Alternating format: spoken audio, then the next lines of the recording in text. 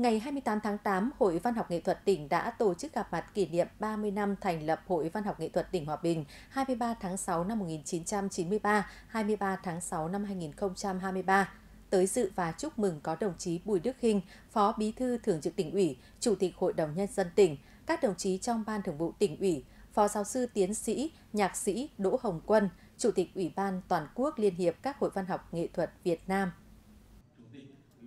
30 năm xây dựng và phát triển, Hội Văn học Nghệ thuật tỉnh đã trải qua 6 nhiệm kỳ đại hội. Hội đã tập hợp được 235 văn nghệ sĩ của 7 chuyên ngành văn học, sân khấu, múa, mỹ thuật, âm nhạc, nhiếp ảnh, văn nghệ dân gian, cùng hai bộ phận là Văn phòng hội và tạp chí Văn nghệ Hòa Bình. Đã có hai tác giả được nhận giải thưởng nhà nước về văn học nghệ thuật, năm nghệ sĩ ưu tú và hàng trăm giải thưởng của các hội chuyên ngành trung ương và của tỉnh Hòa Bình, trao cho các văn nghệ sĩ. Thực hiện nghị quyết 23 của Bộ Chính trị về tiếp tục xây dựng và phát triển văn học nghệ thuật trong thời kỳ mới, hội viên Hội Văn học Nghệ thuật đã sáng tác và quảng bá hơn 1.000 tác phẩm. Phát biểu tại buổi gặp mặt, đồng chí Bùi Đức Hinh, Phó Bí thư Thường trực tỉnh ủy, Chủ tịch Hội đồng Nhân dân tỉnh, chúc mừng sự phát triển trưởng thành của Hội Văn học Nghệ thuật tỉnh, góp phần quan trọng vào công cuộc sáng tạo các tác phẩm văn hóa, đáp ứng nhu cầu hưởng thụ ngày càng cao của nhân dân. Các thế hệ văn nghệ sĩ đã sáng tạo nên nhiều tác phẩm có giá trị cao trên nhiều lĩnh vực, đưa văn hóa ngày càng thấm sâu vào mọi lĩnh vực của đời sống xã hội. Để tạo điều kiện cho văn học nghệ thuật phát triển, Đảng và Nhà nước luôn khuyến khích, tìm tòi, tôn trọng tự do sáng tạo của người nghệ sĩ, xây dựng cơ chế chính sách đặc thù đối với văn văn học nghệ thuật và văn nghệ sĩ phù hợp với sự phát triển kinh tế xã hội của tỉnh. Các cấp ủy đảng, chính quyền và nhân dân luôn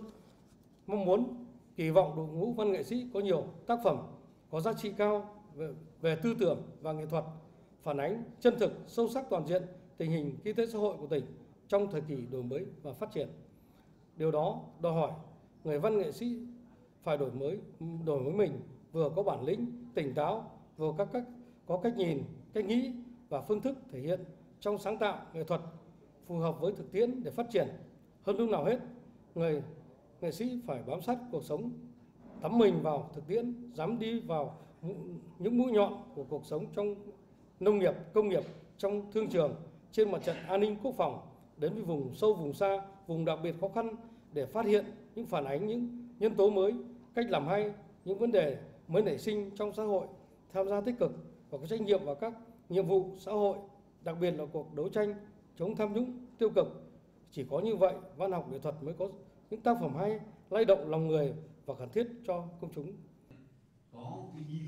Phát biểu tại buổi gặp mặt kỷ niệm 30 năm thành lập Hội Văn học Nghệ thuật tỉnh Hòa Bình, Phó giáo sư tiến sĩ, nhạc sĩ Đỗ Hồng Quân, Chủ tịch Ủy ban Toàn quốc Liên hiệp các Hội Văn học Nghệ thuật Việt Nam, chúc mừng Hội Văn học Nghệ thuật tỉnh Hòa Bình, đồng thời mong muốn phát huy thành tiệu 30 năm xây dựng và trưởng thành của Hội Văn học Nghệ thuật tỉnh Hòa Bình, toàn thể các văn nghệ sĩ của tỉnh đoàn kết đổi mới sáng tạo để có được nhiều hơn nữa những tác phẩm công trình có giá trị cao về tư tưởng và nghệ thuật, góp phần xây dựng nền văn học nghệ thuật tiên tiến đậm đà bản sắc dân tộc, bồi đắp nhân cách tâm hồn con người Việt Nam trong thời đại mới. Nhân dịp này, Liên hiệp các hội văn học nghệ thuật Việt Nam đã trao kỷ niệm trương vì sự nghiệp văn học nghệ thuật cho 14 hội viên Hội văn học nghệ thuật tỉnh Hòa Bình Hội Văn học nghệ thuật tỉnh cũng trao giải cuộc thi thơ trên tạp chí Văn nghệ Hòa Bình năm 2022-2023 và phát động cuộc thi thơ truyện ngắn ký Những làn gió Tây Bắc lần thứ hai năm